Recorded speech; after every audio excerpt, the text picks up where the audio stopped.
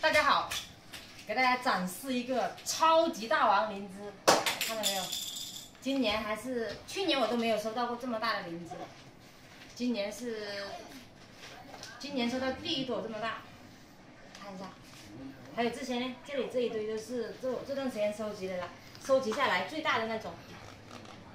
你们光看这个可能不知道有多大，我拿个小的给你们对比一下，你们就知道它有多大了。小灵芝。拿小林子给你们做对比一下，来拿这种林子给你们做对比一下，你就知道这个有多大了。这整个面我给你们量一下，看一下啊，这一个长的这一方三十八公分，这一方的话应该呃这方有二十多，二十五六那样子，好大一个，而且它很厚。可惜的是它不是很圆的那种。如果很圆的那种的话，就更好看了。来，这个灵芝大王给大家看一下，因为我相信很多人没有见过这么大的野生灵芝，纯纯野生的那种哦，所以一定要拿出来展示给大家看一下。它上面呢会有一点点脏东西，树叶啊什么的，因为这个它是扒那个枫树上面长的，直接扒在树上面长的，然后它会有一些，因为本来是烂树嘛，它就会掉一些烂的东西上面去，然后或者树叶。这里就看起来脏脏的，还有一些泥巴之类的。它这里这里一层一层的，这样子。如果切下去的话，就像就像就像那个啥，就像那个人家用那个什么压起来的那种感觉。这里还有一层，这样子。称一下啊，看有多重。哎，你看。五百三十克，一斤多。一斤多。干的。干货，干的都，这个生的时候，你你们想一下，差不多三斤得一斤，生的时候。三斤多。哦，三斤多，生的时候三斤多，真的好大一个。腿短，扒在那里长的，扒在枫树桩上面长的，所以它长不开。这里还有一个半，这个是这个是有一位老顾客买走了，这个，这个的话也是一半，这个是他买走了，放这里。哦，这几个真的是，一年难得见几个。这个的话，我我怀疑今年就是只能见到这一个了，这想见到第二个是没有了，独一无二的。应该后面还有呢。不知道，如果还有的话，那就是今年的话就还可以遇到一个大的。这个像一个脸盆。几十个才比的一个。啊，对呀对呀，那一百个都不知道有没有一个这么大。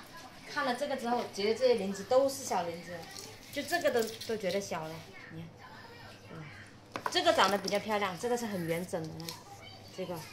这样子的，很香。嗯，真的真好香喷喷的。这个也大。嗯，都二十多公分的。这个这个的话，看一下啊，看一下啊，这种大灵芝的话，真的比较难。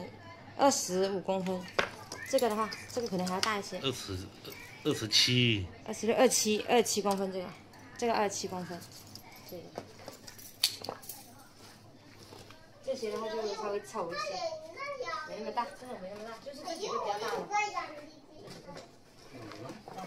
一二三四五，这五个六个，这六个大，那几个都不算很大。这个也不算很大。好看吗？好看。要不要搞一朵来煲汤？嗯，搞小的煲汤算了。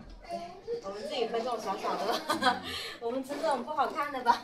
拿这几个小小的来煲汤，这种小小的拿点来煲汤。他得去搞母鸡呀，上市场去买一个母鸡来，半个就够了。嗯。啊。嗯。那拿这几个来煲汤，准备好了啊！虽然虽然我们自己卖灵芝的，但是好的灵芝，大的灵芝都是卖出去的，那种不好的有虫的才是留在家里面自己吃。其实有点虫很正常的野生灵芝。鸡买回来了，这个鸡比三个都黑。哎，家里面家里面条件简陋，很多东西都没有，想拿砂锅来煲的，砂锅都没有一个。从老家带一个过来了。老家有好多个，这是一只乌鸡，骨鸡炖汤，我骨鸡也跟你。它肉都是黑的，这个。骨头都黑的，跟你说。有一些鸡，它嗯肉肉是白的。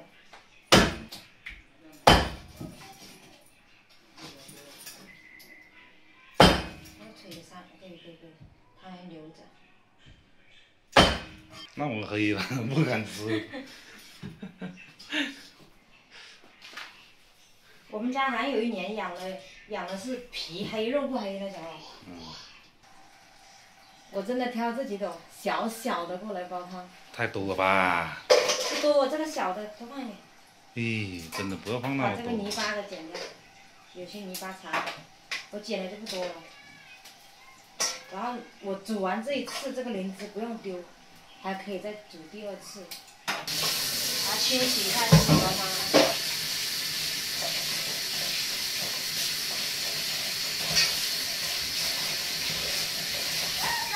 哎。好，等一下啊。把鸡肉也放进来，放了几片生姜。没有砂锅，只能用这个锅来煲了。我那次买都是买这种西瓜。这个好吃啊。是啊。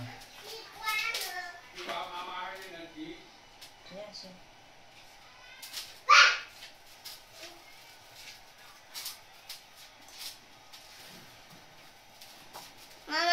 哎。你要这样子切就好了。我给你切小点，流的满地都是水。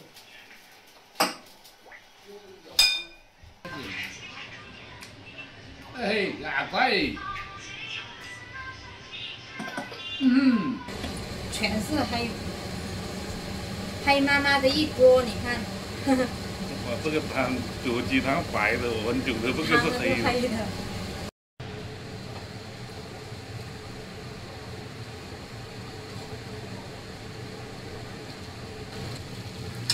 个汤真的黑的，黑的。谁想吃饭就吃饭，谁想喝汤，那就是我想喝汤。嗯，真蛮蛮爱香，当当的。我感觉有点甜了，这只鸡。你没放糖，我甜呢，红烧不放。鲜味。真香。